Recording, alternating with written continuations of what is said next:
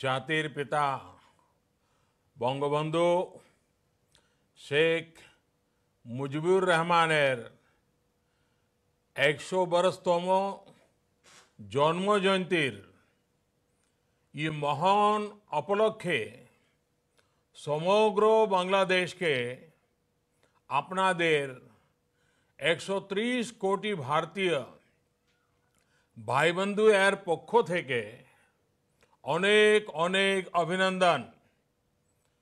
एवं शुभकामना।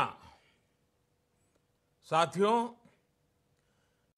शेख हसीना जी ने मुझे इस ऐतिहासिक समारोह का हिस्सा बनाने के लिए व्यक्तिगत तौर पर निमंत्रण दिया था। लेकिन कोरोना वायरस की वजह से ये संभव नहीं हो पाया। फिर शेख हसीना जी ने मुझे एक और विकल्प दिया और इसलिए वीडियो के माध्यम से आपके बीच आने का मुझे अवसर मिला है। साथियों, बंगबंधु शेख मुजीबुर रहमान, पिछली सदी के महान व्यक्तित्वों में एक थे। उनका पूरा जीवन हम सभी के लिए बहुत बड़ी प्रेरणा है। बंगबंधु यानी a leader of courage. a man of conviction, a sage of peace, a champion of justice, equality, and dignity, a hand of defiance against brutality, and a shield against coercion.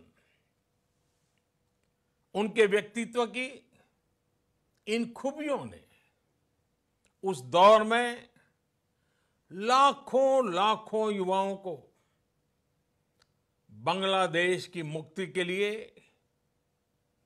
हर चुनौती का मुकाबला करने के लिए एक नई ऊर्जा दी थी आज मुझे बहुत खुशी होती है जब देखता हूँ कि बांग्लादेश के लोग किस तरह दिन रात अपने प्यारे देश को शेख मुजीबुर रहमान के सपनों का सोनार बांग्ला सोनार बांग्ला बनाने में जुटे हुए हैं। साथियों बंग बंधु का जीवन आज के वैश्विक माहौल में 21वीं सदी की दुनिया के लिए भी एक बहुत बड़ा संदेश देता है। याद कीजिए, एक दमनकारी अत्याचारी शासन ने लोकतांत्रिक मूल्यों को नकारने वाली व्यवस्था ने किस तरह? बांग्ला भूमि के साथ अन्याय किया। उसके लोगों को तबाह किया। सारी दुनिया, हम सभी भली भांति इन बातों को जानते हैं। उसकी पीड़ा, उसका दर्द महसूस करते हैं। उस दौर में जो तबाही मचाई गई थी,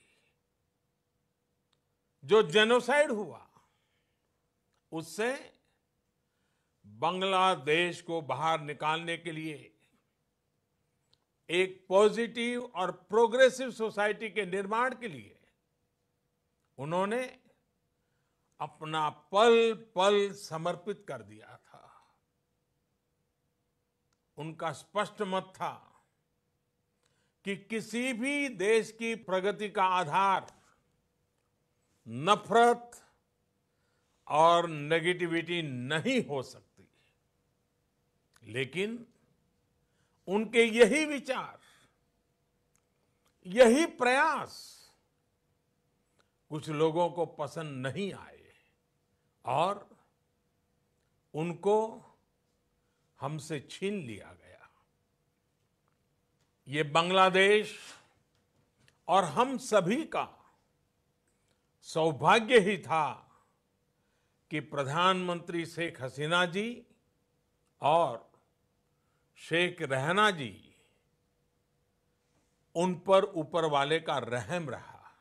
वरना हिंसा और घृणा के समर्थकों ने कोई कसर छोड़ी नहीं थी। आतंक और हिंसा को, राजनीति और कूटनीति का हथियार बनाना, कैसे पूरे समाज को, पूरे देश को तबाह कर देता है, ये हम भली भांति देख रहे हैं। आतंक और हिंसा के वो समर्थक आज कहाँ है? किस हाल में है? और दूसरी तरफ़, ये हमारा बांग्ला, ये हमारा बांग्लादेश किस ऊंचाई पर पहुँच रहा है? ये भी दुनिया देख रही है।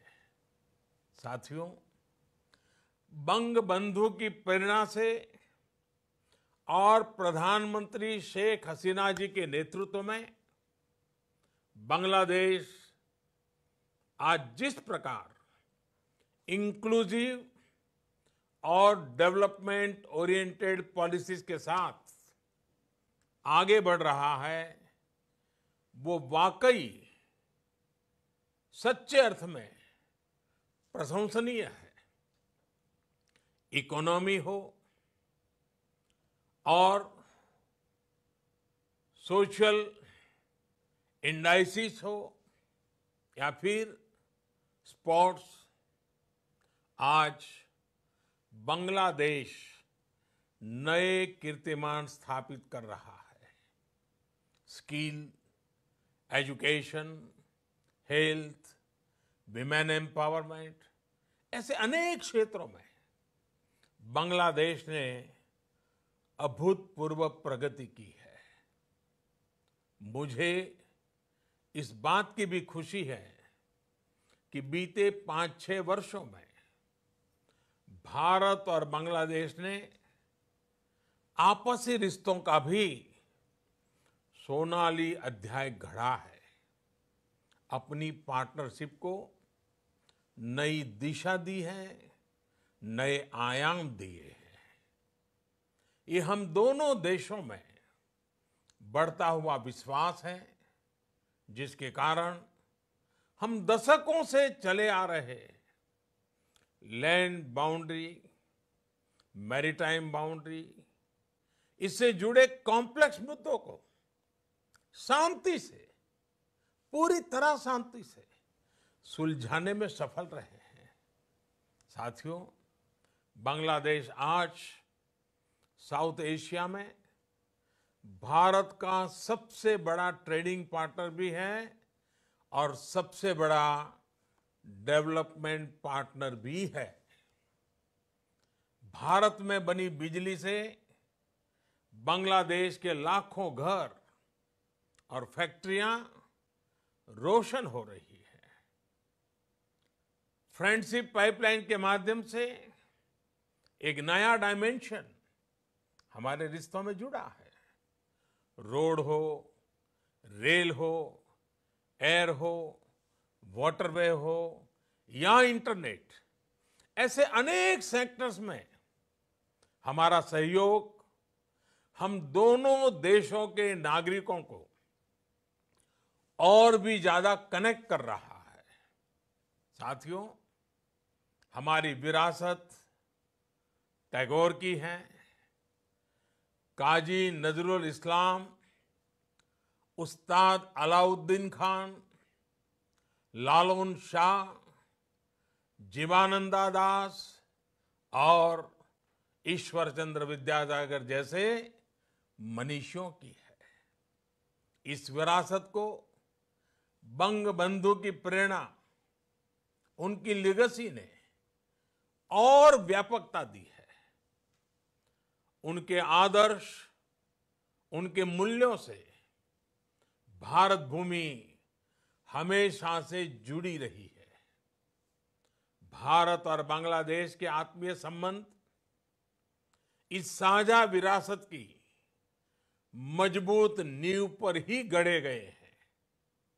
हमारी यही विरासत, हमारे आत्मीय संबंध बंग बंधु का दिया मार्ग इस दशक में भी दोनों देशों की पार्टनरशिप प्रोग्रेस और प्रॉस्पेरिटी का मज़बूत आधार है।